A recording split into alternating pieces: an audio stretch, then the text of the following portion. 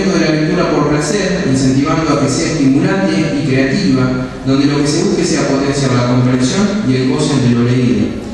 La generación de un programa de formación de usuarios con el que se garantice el eficiente aprovechamiento de todos los recursos de CREA, en especial de los nuevos soportes tecnológicos y de las nuevas tecnologías, y el despliegue creciente de habilidades de información necesarias para lograr dicho aprovechamiento.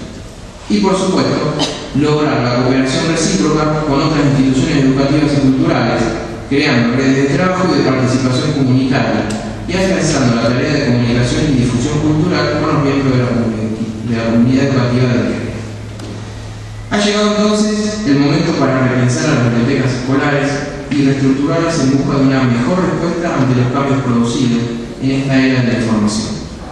Ya dejó de ser una cuestión teórica o conceptual. La realidad que nos contiene exige mayores esfuerzos individuales y colectivos, a partir de los cuales construir una sociedad más comprometida y mejor preparada para su tránsito por las nuevas autopistas del conocimiento y la información. Muchísimas gracias.